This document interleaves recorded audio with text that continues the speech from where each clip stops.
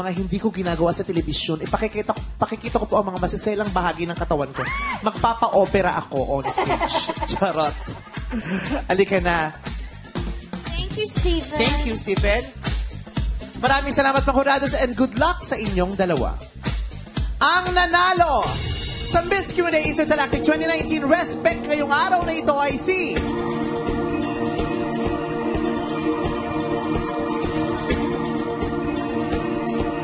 Jondisha Clara de la Fuente at Beach Monte Carlo Sword Swansana It's a tie! It's a tie! Congratulations to the both of our queens. Ayaw mag-break ng mga hurados, kaya it's a tie. Congratulations! Pareho kayong pasok sa semifinals! Pero wala raw kayong iuwing cash. Oo, kasi Charos. hati sila. Hindi, tag 20,000 pesos kayong dalawa. Congratulations!